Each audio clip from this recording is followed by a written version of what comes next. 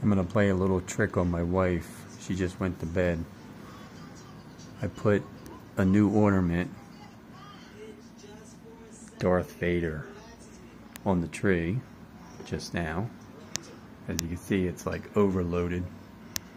And she knows every ornament on this tree. So I took one down, which is this guy. I move. Actually, I got to put him in a better spot because that's a little cluttered right there. She'll figure that one out. So I put him in there.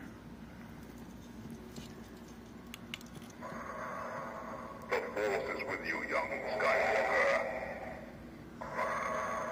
You are not a Jedi yet.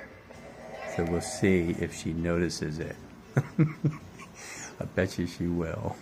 Because what's going to give it away is the sword, the saber. It's all lit up. So maybe I should try to put it on the other side.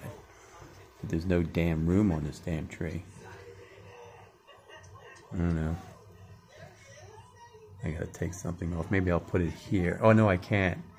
Because these bulbs, these lights are a little different. They're smaller on here. So the the adapter that comes with it is for the bigger bulbs.